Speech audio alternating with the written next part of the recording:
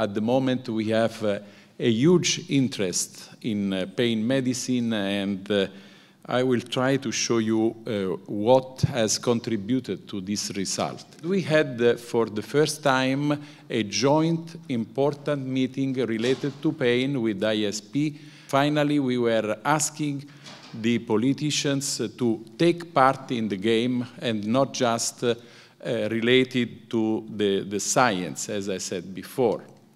We need the support of uh, the politics, and we don't have to forget this because they are the one deciding where the budgets are going. And if we want to have some specific budget for research on pain or for for uh, the uh, clinical approach to pain patients, they are going to decide. And that's why we have to sensitize their activity and uh, their interest.